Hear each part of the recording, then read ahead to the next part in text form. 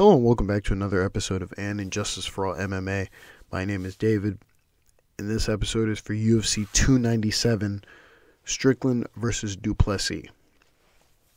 Uh, I just, I just want to note that it is 1 a.m. on a Monday, two days after UFC 297. I dodged all the spoilers. I stayed offline. I don't know. I didn't know who won. And I finished the card. I'm saying this because I'm tired. This card might be the most draining card I think I've ever watched. For one, because I watched it in a two day stretch. I watched it on Sunday, went to bed, went to work, then right. That's not important. The important bit is this card is the most draining card I think I've watched in a long time. And it's because of just the style of which many of these fights happened. Now, the prelims started off really fast to where they they were fast, there were a lot of finishes, they were kind of entertaining. And then as the card came down to the main event, it slowly turned into I don't want to call it boring. It turned it slowly turned into a a techno fest, a, a technical fight between everybody. Um, and that's what's so draining about this card. The other thing that's draining about this card is the shitty score. I mean, oh Lord, have mercy. Terrible scoring tonight in all facets. And I'm not talking about the main event. We'll get to that in a second. I just recently got offline, so everyone's kind of going crazy. I feel I listen, I like Sean Strickland. I just want to put that out there. I like Sean Strickland. I feel like everyone's a little biased here on the Sean Strickland thing, thinking he won. We'll get to that in a second, but I don't think he won. Um, and I personally, in particular, don't think it's actually as close as everyone's making out to see. Also, I saw that Dana had it 2 2 before the final round. He can't score, nor should he ever touch a scorecard. I've been saying Dana White could, cannot score cards. He can't score cards to save his life. Also, I saw the verdict app where everyone scored it for Strickland. Fans can't score either. It's it, it's wild. It, everything's all over the place. I'm shitting on everybody. But let's get back to the point, which is this card is terrible because let's let's start from the jump. When this fight was when this card was announced, everyone said this card is terrible. They looked at it and they were like, on paper, this card is gross. It's terrible. It shouldn't even be a pay per view. And in my head, I was like, eh, you guys are being too much. Blah, blah, blah. And as I was watching it, I was going, you know what? They're right. This is a fight night. This is a uh, this is a a fight night that was pitched as a as a pay per view. The Mexico card that special Mexico Vegas card, uh, Cinco de Mayo card that they had uh, last year. I think it was a Cinco de Mayo uh, Mexican Independence Day card. That was more pay per view quality than this, and and the fact of the matter is, let's just start off with the prelims are the prelims, right? Whatever. Allen versus Evloev. That's like a fight night. That's like a five round fight night. Curtis Burial, Bury you. whatever, Burial, whatever. The nature of that fight made me feel like this fight shouldn't have been on a pay per view. The Magny Malott fight shouldn't have been on a pay per view. The Pennington Bueno Silva fight shouldn't have been on a pay per view. There's just so much. The Katona Armfield fight shouldn't have been on a pay. There was just so much. This so this card was so draining, and to make matters even worse, the judges did not help, and Bruce didn't help for one of them. But let's start from the very top, from the very, very, very, very top. We're gonna go. We're gonna do this slightly different from now. We're just gonna go in order of the card from from the prelims up. Honorable mentions mixed with injustices, mixed with if there was a robbery or not. We'll start with the first one. Jasudavicius versus Cachoeira. Okay. Um, Jasudavicius wins in the third round via submission. Uh, I scored a 10 8 in the first and the second round. Okay, in the first round, Jasudavicius had a takedown with ground and pound for about three plus minutes, possible 10 8. I gave her a 10 8. In the second round, uh, Jasudavicius dropped and had ground and pound for three plus minutes against uh, Priscilla Cachoeira, possible 10 8. I gave her a 10 8. It was at this moment, okay, it was at this moment in the second round where I was thinking to myself, this fight should have been stopped. This fight should have been stopped, and I was surprised. I'm sorry, did I did I put submission? I think I think it was submission. Am I am I am I bugging out here? No, no, I'm not bugging out. Th- this fight should have been stopped in the second round. Now, I understand maybe the argument could be Jazz strikes weren't uh, super vicious. Um, Priscilla Cachoeira was given an opportunity to get out, but I feel like she, she was giving an opportunity to to really leave this fight, and for some reason the ref let her stay in. I feel like a little a little too long, but um, there's that. We go to the judges' scorecards, and uh, the judges went a little crazy on this one. Derek Cleary, he his scorecard reflects mine, 10-8 in the first two rounds. Uh, Kyle Costello, same. His scorecard reflects mine. And then Saul D'Amato, who is getting crap online, uh, gives the first round a 10-8 for Jasudavicius and gives the second round a 10-7. That's unnecessary. We don't come on. That's unnecessary. Now, I could be wrong given what I just said a second ago, which is the fight could have been stopped. I think I think that's I think that's a reasonable point to put it 10-7. So I actually take back what I was saying here. Um, there were many moments where I felt like the ref could have stopped that fight, and it wasn't. And I think that's where the 10-7 comes in. So there there you have it. Um, quick quick note on Saul D'Amato. I know we'll get to it towards the end, but I saw Anik's tweet about his scorecards. I, don't. Th- I think when we're arguing about a person's scorecards, we should argue about the individual scorecard. Anik was clumping in together. Anik was showing grace towards Saul D'Amato, but the the issue I had with the tweet was clumping in the three decisions: the Strickland decision, the Strickland decision he gave uh, for the du Plessis fight, the decision he gave for the Cannonier fight, and the one for the Hermansson fight. The Hermansson fight was one of the worst scorecards ever, I think, in history.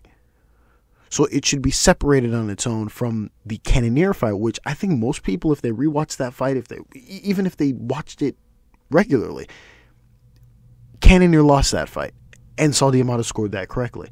And then in this fight, he's, in my opinion, since we'll get to why this is so controversial, he scored this one incorrectly. They should just be looking at the individual scorecard instead of, hey, look, Saul D'Amato scores another bad fight. Now, it's consistent, yes, but it's weird how people are using him as uh, oh look he scored it correctly when normally they'll attack him for scoring things incorrectly but that's whatever let's get back to the to the thing we go to the first honorable we go to the first injustice of the night the only injustice on my scorecards okay injustice i.e robbery this had me this this really set my night this put my night into this made me feel all sorts of ways Sydney versus Taveras. I had this 29-28 for Sydney. Uh, Sidey, excuse me. Sidey versus Taveras. I had the uh, 29-28 for Sidey. Last two rounds for Sidey. Okay, first round for Taveras. Um, before I even start this fight, no, let me run down this fight and then I'll I'll complain about commentary. So, first round, Taveras outstrikes Sidey. Okay, pretty simple. Second round, Sidey is dropped by Taveras early in the second round. Now, this happens a lot of times, and this is scored consistently the same way, where a person's dropped in the middle or early part of the of a round, but then, just like in this round, Sidey then goes on to well outstrike Taveras. The round belongs to Sidey. The round belongs to Sidey. It's scored consistently this way all the time, but occasionally, if this isn't in the apex, for some weird reason, I guess judges just freeze up and they just decide, fuck it, we'll just give it to the other guy. Okay, cool. Um, again, Taveras drops Sidey early in the second round. Sidey goes on to outstrike him well enough to take back this round. Um, third round, Sidey outstrikes Taveras, and that's where you have and that's where you have this. You go to the judges' scorecards. You go to the judges' scorecards, and it's just, it's really saddening to see. Derek Cleary, his scorecard reflects mine, and then Eric Colon, he gives the first two rounds to Taveras, and that's where I'm stuck with the look. I'm going to give an honorable mention. I think it's honorable mention. Terrible by Eric Colon to give the second round to Taveras because of the drop, even though he was outstruck well in this second round. He gives the first two rounds to Taveras. Last round he gives to Sidey. Uh, Salim Hanif gives the first round to Taveras. He gives the second round to Sidey. And then he gives the third round to Taveras. Terrible scorecard. It's a very bad scorecard. The last round belongs to Sidey. Everyone knows that. This is a shit scorecard. It's worse than the Eric Colon scorecard. So honorable mention to those two. I just want to point out that throughout the entire night, and I've complained about this multiple times, okay? Dominick Cruz can't score cards to save his life. Who's the other guy? Daniel Cormier can't score cards to save his life. Even though tonight I think he was actually he was actually well in how he was looking at some of the scorecards. The annoying thing about Dominick Cruz isn't his voice. It's the fact that he continues to waffle on about the damage, the damage, he's not understanding the damage criteria at all to the point where Anik even has to step in in a fight I can't remember. I think it might be the I think it might be the Strickland and Du Plessis fight where he says, "Oh well, he cut him, so he's winning this round." And Anik, I can tell it's burning in his head of like, "Dom, please shut the fuck up." He says on commentary, he says, yeah, a cut doesn't carry over. The, the damage sustained by a cut in one round doesn't bleed over, haha, bleed over into the next round. It just doesn't. And the and I'm glad someone finally said it because I'm because at that point Dominick Cruz is just waffling. He's just talking for no reason. He's he he shouldn't even be there every so often I go online and I see he gets crap from everybody, and rightfully so. But I think not for him being annoying, but for, just for him talking. He just, he's he's not saying anything of, of, of real substance. Him, Paul Felder, Michael Bisping, just over and over again. They're just there for no reason. Sorry, that was a little a little tan. Let me get let me get back on point. So Sidey got robbed, and that put my night into a into a terrible mood. And then we go to the next fight. Another split decision. Jourdain versus Woodson. Um, really nice fight. 29-28 for Woodson. I had the first two rounds for Woodson, last round for Jourdain. Um, in that very first round, Woodson was outstriking Jourdain. Again, same thing happened in the second round, just at a less. Uh, it, it, optically, it wasn't good in the second round, Woodson again outstruck Jourdain, but it the optics were a little wonky to where I was so scared of what happened in the Sidey versus Taveras fight. I was like, oh my god, oh my god. And the way the commentator was talking, I was just like, oh my god, they're gonna steal this away from Woodson. Little do I know, I guess I was right. Um, um, I was right in that feeling. Um, and then the third round, Jourdain had a submission attempt and he outstruck Woodson. You go to the judges' scorecards. Okay. You go to the judges' scorecards and uh, Derek Cleary, his scorecard. Derek Cleary was on it, I guess. Derek Cleary, his scorecard reflects mine. Um, Patricia Wondermere gives the first two rounds to Jourdain. This is this is just I I don't know I, I don't know what to to even say. This woman should be barred from ever touching a pen that writes on a score on a score sheet. She gives the first two rounds to Jourdain I don't know what she was watching. What Jourdain clinching with Wood Woodson at the end of each round? Is that is that the criteria for him winning the terrible, terrible scorecard? Honorable mention. It's it's bad. It's one of the worst scorecards of the night. Um, and then Declan Woods, he gives the last two rounds to Woodson. Uh, excuse me, he gives the last two rounds to Woodson. He gives the first round to Jourdain. Honorable mention there. He gives the first round to Jourdain. That already is bad. He's not watching the fight at that point. He's not watching the fight. So honorable mention there. First round to Jourdain, insane. Second round to Woodson, obviously. But if you're scoring it this way, it doesn't even make sense.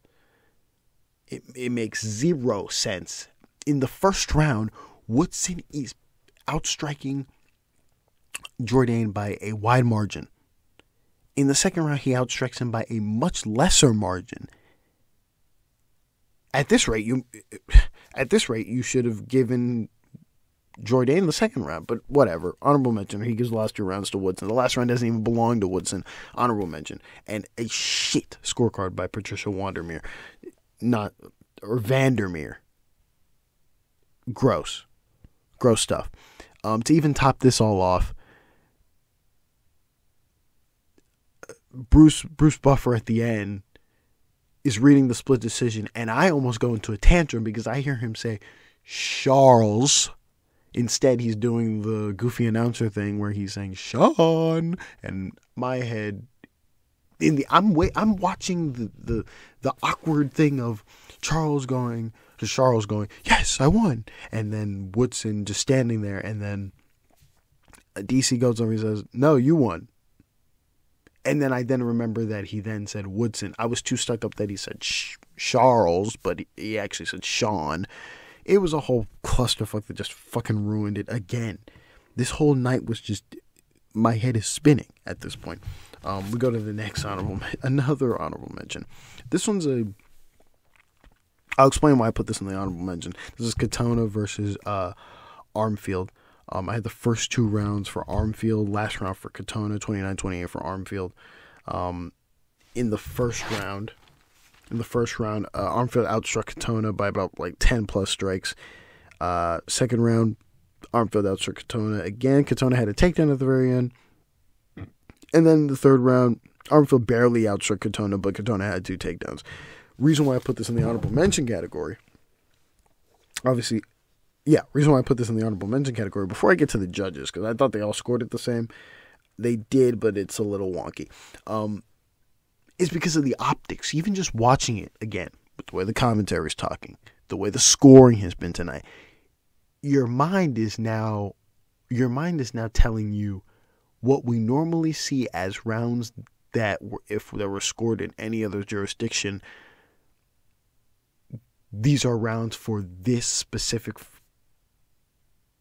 fighter, then that that gets thrown out the window at this point. So I'm looking at the end of these rounds and Katona being uh, goofy and deciding to actually do something at the end of the first two rounds makes me question whether or not a judge gave it to him. And thankfully, he didn't win the fight, but some judges probably did get swayed from that, and I'll and we'll go into it right now.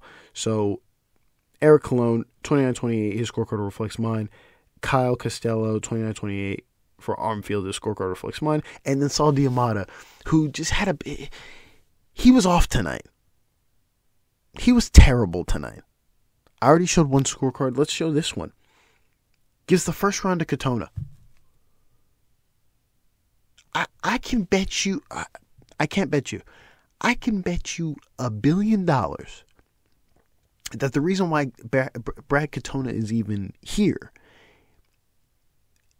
is because of that terrible decision that that Saul D'Amato is partly responsible for the terrible decision that he gave to Brad Katona in the Ultimate Fighter. If you watch the Ultimate Fighter, you know Brad Katona beat uh, some guy I can't remember at this point, and he should have lost that fight. They scored it for the other person they short it for Brad Katona when he shouldn't have won this fight. It's it's I'm just it just baffles me how bad some of these scorecards are. It really does because in my head I want to say you know just have the regular judges judge it, and then I'm looking at the scorecard, and I'm going that Vander that that that Vandermeer lady almost fucked it. And then on the other hand, I want to say, well, just bring in the regular Vegas judges. These guys are fucking it. So all the judges suck. All the judges suck. Let's let, let's read this real quick. He gives Brad Katona the first round. Already insane. Gives the second round to to Armfield. Fine. And then gives the last round to Armfield. I, I'm I'm lost. I'm confused. The last round doesn't even go to Armfield. Again, honorable mention to Saul D'Amato. It's it's it's ridiculous. It's absolutely ridiculous. I'm just I'm really lost for words. Um, Allen versus Evloev, that should have been a fight night. Curtis versus Barriault. Um, I had this 29 28 for Barriault. I put a close marker on the first round. The first round was too close. I couldn't definitively put my stamp of approval on it. Um, this was a split decision win for Curtis, obviously, but I had a 29 28 for Barriault. I give the first round and the last round for Barriault. The second round goes to Curtis. Um, in that very first round, Barriault barely outstrikes Curtis by about one to two strikes. I put a close marker on it. I can't count on. I can't definitively count on that. Um, second round, Curtis outstruck uh, Barriault. There were Barriault was outstriking him in the round, and then towards the end, Curtis is putting it on him and kind of outstrikes him towards the end. Um, and then the third round, Bar- here's what's weird about this third round thing. Barriault is outstriking Curtis in the first half of this round. He's outstriking him well in the first half of this round. And then magically on the flip of a dime, they both start to hit each other each other at the same exact time, landing strikes equally on each other in the clinch, just punching each other. I don't know how you definitively sit there as a judge and go, okay, Barriault winning, and then they're both hitting each other. So Curtis wins? No, I'm I'm lost on how you can score that third round for Curtis at all, at all. It it, it makes no sense. It makes no sense. But we go to the judges' scorecards. Okay, and this is what had me in a bind. When I heard 30 27, I knew it was done. I knew it was done. But it it hurts because in no way is this a 30 20. 29 28 Curtis I can sit with. 30 27 is just bad judging. Declan Woods gives a 30 27 to uh, Chris Curtis. Honorable mention. Trash scorecard. Throw it in the trash. Derek Cleary. He gives uh he gives a 29 28 29 28. His honorable mention to Derek Cleary. His scorecard's fucked too. He gives the first round to Curtis, which is fine. It's a close round. You can argue that. Second round, he gives to Burial Nonsense. Burial loses the second round. Already trash scorecard. He gives the third and final round to Burial That's fine. Honorable mention to Derek Cleary. I I I personally had Barriault winning, so I'm not mad with the decision that he gave, but it's a bad scorecard. And then Eric Colon has a 30 27 for Curtis. It's shit. It's a shit scorecard. And it, it, it is what it is. So just just just absolute nonsense. Um, next honorable mention, Magny comes back. He has a he wins by TKO. Magny versus Malott, a TKO in the third round. Basically, Malott just runs out of cardio. He has no car. He, he gets out cardioed. Let me say that properly. He, gets out cardioed by Magny. He's he's winning the first round. He's winning the second round. Okay. Um, he, he outstrikes Magny in the first round. He gets two takedowns with ground and pound in the second round. And then the third round, he gets taken down. He gets taken down, I believe. And then he gets taken down. And uh, he gets pounded out. Another fight where I thought 30 seconds too late on the stoppage, but we I digress. Um,